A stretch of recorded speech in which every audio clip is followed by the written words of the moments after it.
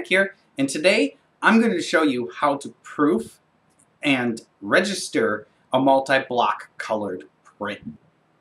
So the print I'm going to be doing today has got nine colors on it, but it's only going to have seven blocks. And that's because two of the colors are far enough away and separate enough from the other colors that I can actually roll it out separately. And I may even do another little trick, but today I am not going to do all nine colors. I'm just going to do the seven blocks. So the two colors will be knocked down to seven. Just because I'm proofing this and just so you guys can get an idea of what it is that I'm doing today. It's more of a process of how I do this than the result of the final print right now. Because that's not what's going to be important. As you can see, I have seven blocks here. Um, these ones right here one, two, three, four, and five are all the same size. They're five by seven. This one is five by eight, and this one is four by six. Why is this? I normally would have done them all on five by seven, but the reason I did not is simply because the art store that I go to, which is uh, and Craftsman Supply here in Tacoma, was actually cheaper than every other place I could buy these things by at least a dollar. So it was a good deal to buy them from there, but I ran out uh, of size. They ran out of sizes, and with the whole COVID thing, they couldn't get them. I mean, they were actually more expensive to buy them from Amazon than they were from here. Uh, Blick wasn't too bad; they were pretty close, but I wanted them instantaneously. I wanted them right then and now, and that's what I needed to do. So that's how I did these. So basically, the most important thing to remember is when I designed this and I did the artwork for it, I started at this right hand corner. So everything is aligned to that. So all these, even though they're different sizes, if they're layered on top of each other, all start from here. So they should, you know, theoretically, the idea behind this is as long as this is in the same place every time on each one of these blocks, they're all together like this, they should print perfectly like I said, theoretically. Nothing ever happens perfectly in the world of printing. So we're going to go through, and I, but like I said, I'm going to proof this. Um, as you can see here, um, this is orange because when I do my process, I actually use a ink here to transfer the color. I don't have the ink nearby. I was hoping to have the ink nearby. I was trying to find it. But, uh, oh, it's right here. I use this right here. Pinata. It's from Jacquard. It's an alcohol ink. I squirt a little on there and then brush it around with a brush. And then I take a paper towel and some more isopropyl alcohol here. And then I wipe it off a little bit so it's not nearly as dark. And the reason I do this is I can easily see where this is. And because I use my transfer process you saw before with the wood, you know, with the laser printer and the wood and the xylene and all that kind of stuff, that works very well there. So I have everything here. The only thing that I screwed up for was this block here. This one. This area got so mangled that basically I just ended up carving it out, taking it right down as you can see, right down to the wood. And then got another piece of linoleum, just clear, you know, not clear, but unmounted linoleum, and then recarved it, and then kind of, you know, I positioned, I printed out my paper, and then cut a hole in here, and then lined everything up on here, and then positioned this and glued it back down. Now I am using mounted linoleum blocks and the reason is because they're more square and they're more precise than unmounted because they may not be perfectly square. These are perfectly square which is why I use them. Now I'm not even going to mix my colors the proper way just because I don't see a point to that right now at this point in time. So, but I am going to show you some of the colors I'm going to use, and some of them are accurate. So I'm going to use the Speedball Professional Dia Yellow. It's going to be one of the ones I use. And then I'm using a bunch of Daniel Smith ones right here. I have my hands Hansa Yellow Medium, my Burnt Umber, my Yellow Ochre, my Phthalo Blue, my Phthalo Green, and Lamp Black. This one's in a plastic bag because it developed a leak somewhere and it's starting to, you know, but the ink is still good. So I'm going to use this thing up until it's gone, which will probably take quite a while. Now, I'm going to, when I do this, prepare all my blocks. I'm going to roll out all my inks and get them all ready for, I can just go one right after another when I'm uh, showing you guys that. Now, in order to do this, we have to have some way of keeping our blocks in the same position every time. And this is where this, this is how I do it. I get a piece of wood. Now I have a fairly large piece right here. This is about a 12 inch. I bought this at the Home Depot um, or Lowe's, one of the two. I can't remember. It doesn't really matter. I remember it was a two foot section. It was two feet long. Can't show two feet on here. I cut it in half, or cut it down, I should say. And then I drew two lines this way. And then I used the saw and cut this right to here and then cut this right there. I made sure it was perfectly straight and cut right along the line with a saw.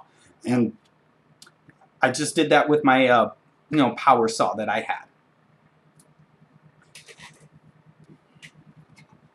And I do that because that's the one that we're going to use. So I get one of these. These are one of those mats that um, you know prevent slipping, which is why this is going to be so important.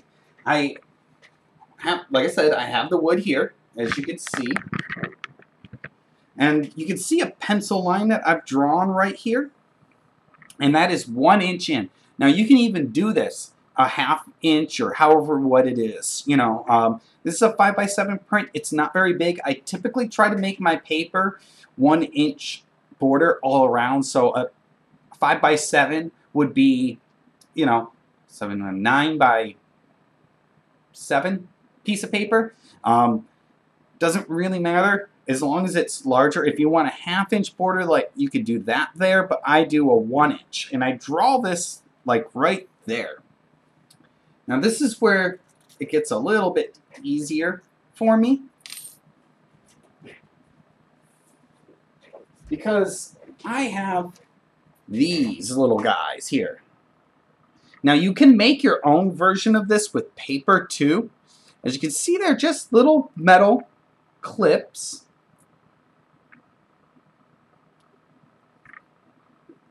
And they work really well.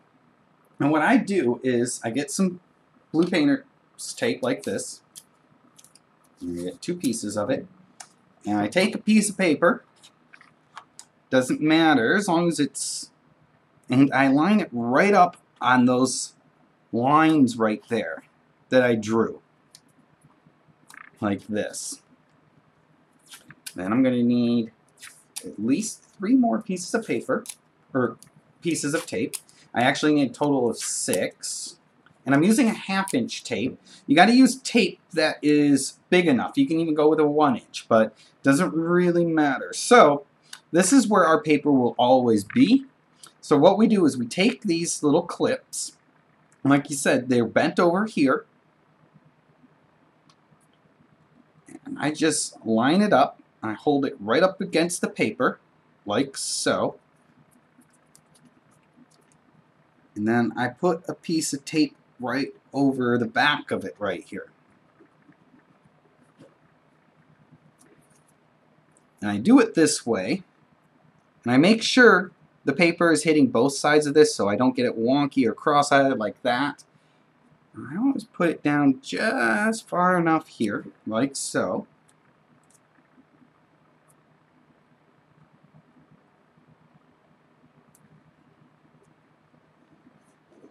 Like that. I put two down here, and I put one over here. Once that's done, I'll remove the tape from the paper and remove the paper altogether, like that. Then, I take another piece of tape and then bring it down here, all the way down. And as long as it covers this little area right here, you're fine because you don't want your paper getting caught on that and you know maybe slipping under it or something or moving this. This is just secures these in a better location than what they are. And this is how you register everything. Um, your block will slip right up into here and stay there. And then your paper slides into here. And that's how you register everything. Once I get my blocks all inked up, I'll show you guys that. As you can see here, I've got all my blocks inked up and ready to go. I'm just going to pick this up. I've got my tripod, but you can see here I have all my inks rolled out here. I've got a Hansa yellow, yellow ochre, brown umber, diarylide yellow, the phthalo blue, the phthalo green, and finally over here, oh, just black. That's all the colors we're going to be doing. Put the camera back on the tripod here so you can see everything. Good, the color looks good and everything looks fine. Um, so we're going to print the first color. And the first color is going to be the yellow, right here. I'm going to put it right in the corner.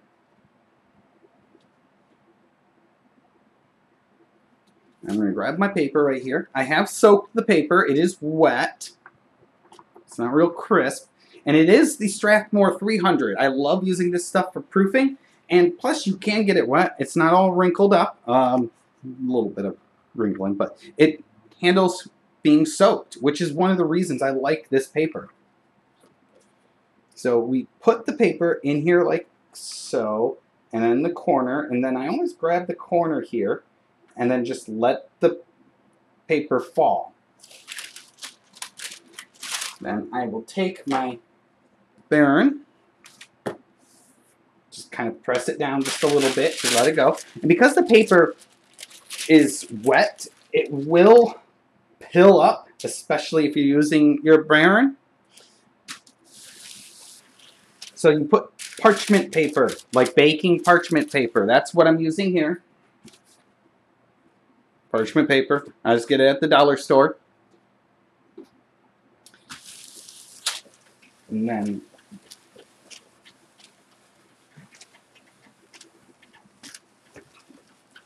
I do want to be a little careful with the parchment paper because I will tear right through if I hit the corners of these things. And this is why I leave an inch border because that way I am not getting too close to these edges. And then I do have another Baren that I handmade here. I'll go over how to do this. But these are bamboo toothpicks. And if you can see here,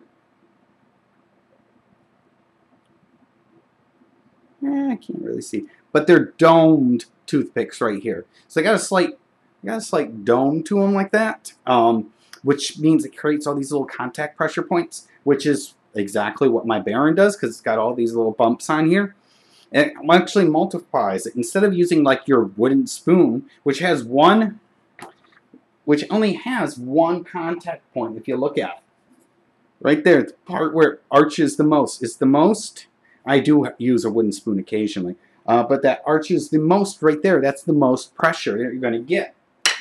By having a flat surface like this, with a ton of these little bumps, that's multiplied multiple times over. So when you rub it over your paper like this, it works really well. This, I just took some thin cardboard, put it in the bottom of, this is how this came, actually. It came in this little flimsy, plastic, rubbery type container. I put a little bit of piece of uh, cardboard down there with some uh, silicone glue, uh, like silicone caulking type glue, a silicone adhesive, whatever you want to call it put it in there, put that in there, and then I squirted a ton of it in here, about that much, about halfway through, and then started putting the toothpicks in there. I mean, it's not perfectly round. I've had a few break off in here, like there, and things like that. But this thing actually works amazingly well for a little Baren. I it just, it just, I really like it.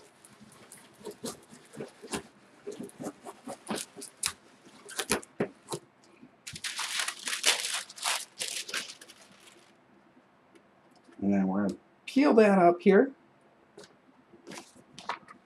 And as you can see, there's the print. Okay, yeah, I missed the corner, but I'm proofing this. So right now, that's not my biggest deal, you know? So I'm okay with that. Then we're going to take this block and put it off to the side. Then we're going to print the next block. And when I did do these, you can see, like right here, there's a little, it kind of like nudges out and flares out. This part is like right against the white, but the rest of it kind of get goes over the yellow or other parts go over that. So we're going to stick that in there like that. Hold the corner down.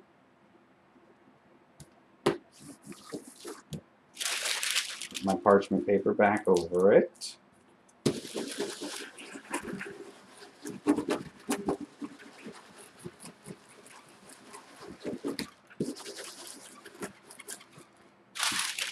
Of course, these inks are the water-soluble oil inks. As you can see here, I can see it's already misaligned. You can see it in the corner there. But that's fine. That's why we're doing this. So we see how far it's misaligned. And I'm going to grab the second color, put it there. And this is basically all that you do. It's real simple to do. Just want to make sure you get it in there properly.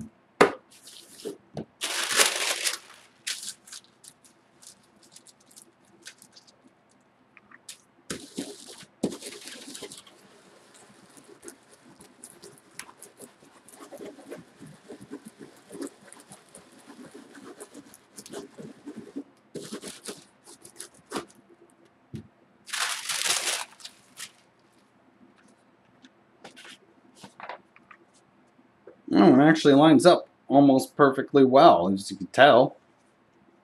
That color. And of course, these are not my final colors for this. Some of them will be. I know this yellow will be, but I'm not going to use that for skin tone. I'm not going to use that for the shadow tone. But uh, I will be using this for the horns and the bikini. This highlighted yellow, I like that color. It's kind of an orangey yellow, which is perfect for a tiger print bikini.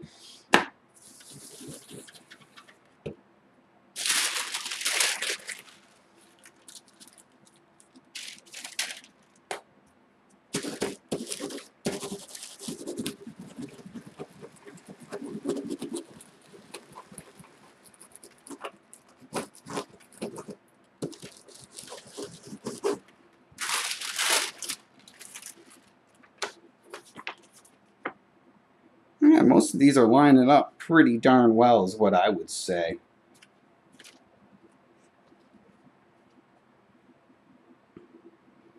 And in order to fix some of these, you think about, okay, if there's this space here, does this have to move over? And if so, how far does it have to move over? And that's when you do things like shims.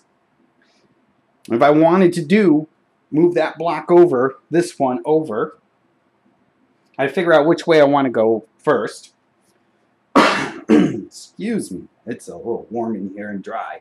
Um, so if this is here, and I know this one, as I can look at it, I'm holding it up to the light so I can see, you know, like this, so I can actually see through it. I'm looking through the light, and I know that it needs to move over to the left compared to all the others. So what I do is I make shims right here.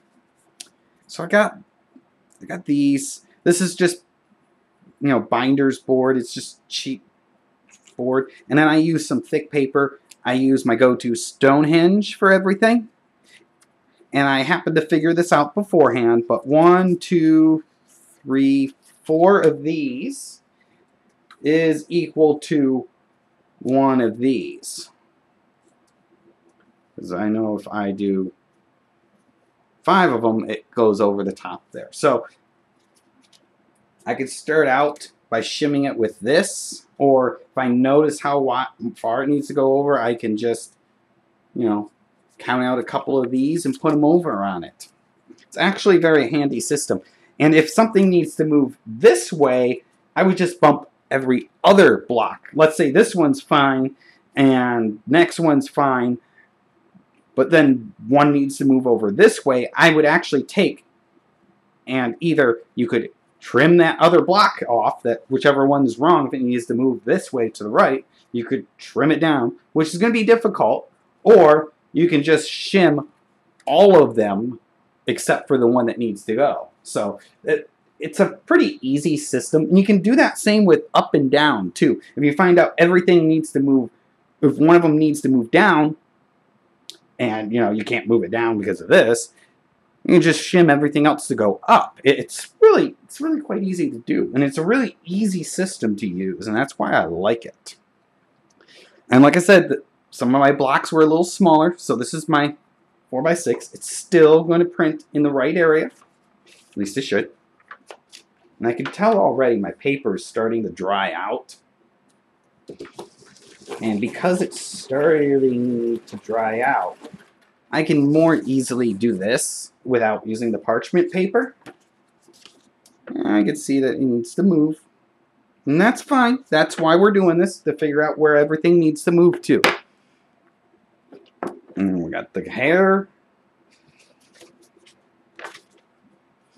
Like I said, most of these, some of these colors will not be final. I do like my Phthalo blue. I'm going to keep using that one. This was the block I was talking about, where it's got a separate color, the red lips. Right now they're blue, but they will become, I will do them in red later on.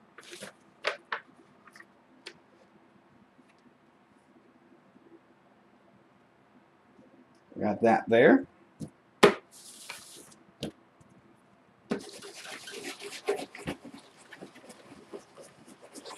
But the green is a uh, phthalo green. I, I'm not going to use this color green. I'm going to mix my own custom color for the green hair because I two reasons. One, I don't like the color.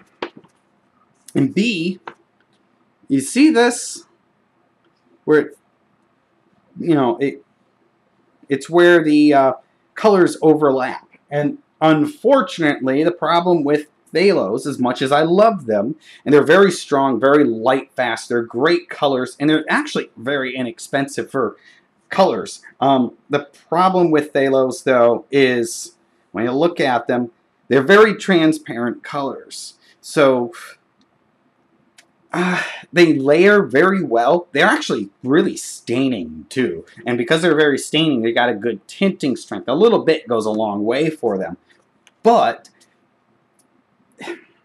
it's not opaque. It's a transparent pigment. And it doesn't matter how many layers I build up and put on here, it will always be transparent because the nature of the pigment is transparent. I mean, you can even see on the block, right along the edges here, that some of the color transferred too. That does happen.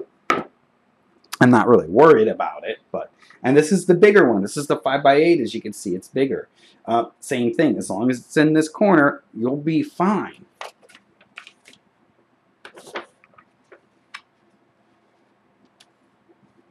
Go down the corner there.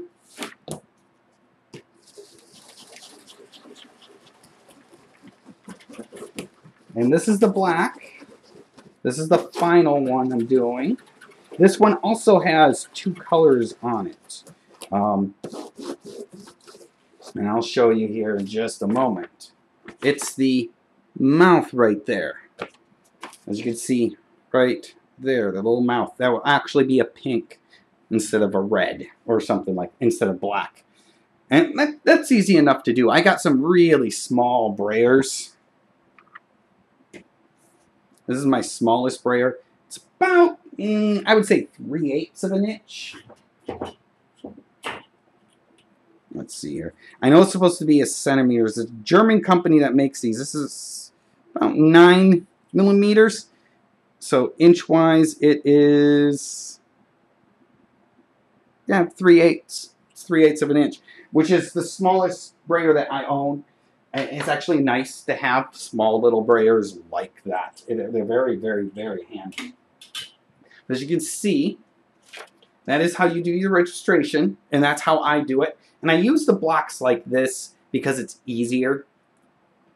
Now, I've seen people do this with mat board. You could do this with a piece of mat board too if you're going to use unmounted linoleum. You're just going to use a piece of unmounted linoleum like this. And as long as you have a perfect 90 degrees right here, you know, because, I mean, right here, that's not going to work. It's, it's down too far. You can see the depth change. But these, they're the same thing. And a lot of people don't realize about the mounted linoleum blocks is the height of these. I've had a few guys, um, I know some people that like to work on them. And I had a guy come into the store when I worked at the Daniel Smith wanted to buy a printing press. And we had some small printing presses. We called them the baby press. And there were, God, they probably about six or seven hundred dollars now.